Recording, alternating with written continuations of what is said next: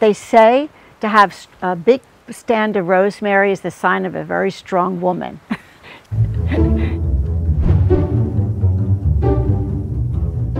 I produced my first painting at age six on a small canvas my father had gifted me when I was a child. My degree actually was in architecture. I have an eye for balance and symmetry, and it's so satisfying for me to lay out a plate almost as if I'm laying out a blueprint for a building, and then to go back in with the color. The artwork always comes first. The product is always just that. It's a product of my artwork. I might think of something a year beforehand, and then it will slowly come into some sort of form in my mind. And then when I do decide to start on a project, I might stay up till two or three in the morning, and then it's going to be translated into products. Hopefully you'll be able to visit my store, which is called The Island Shop at 3 Queen Street in Hamilton. It is located conveniently across from the ferry terminal and near the famous birdcage.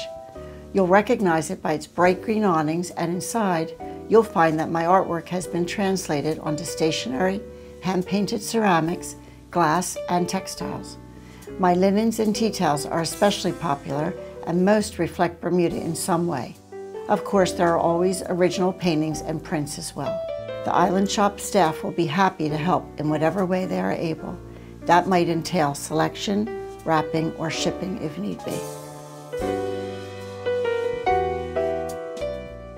Everything about Bermuda is inspiring to me. That has also been appealing to a lot of my customers because they come to Bermuda, they feel the same way.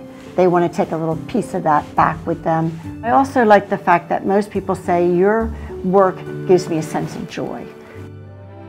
This has been endlessly inspiring, the nasturtium. The original paintings are turned into textiles. They're all hand blocked and even my wine glasses are all hand painted. These are the ceramics that are all each individually painted.